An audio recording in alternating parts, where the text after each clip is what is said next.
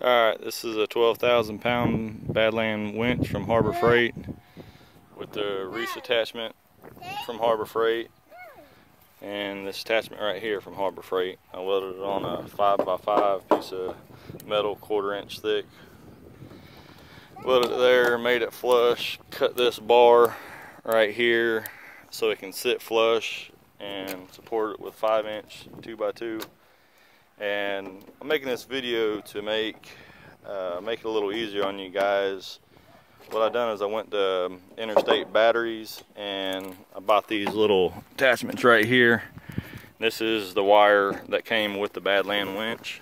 It goes up here.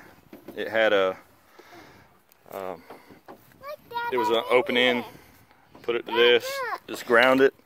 And yep I see. There's my little helper and uh, as far as the power source coming from it, I didn't want to have a battery or anything back here, so uh, I got a 2 volt power wire that's easy to wrap up and I ran it right up here and put a jumper cable on it as well. So now all I have to do, and I'm going to keep all this set up in my tow box.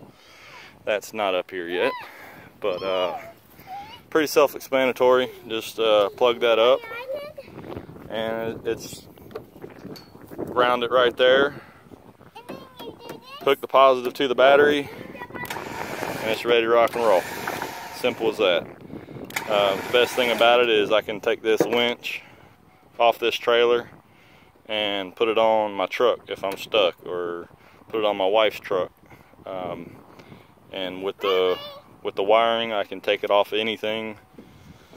It goes with the winch I can put it on a truck or put it on a go-kart if I wanted to.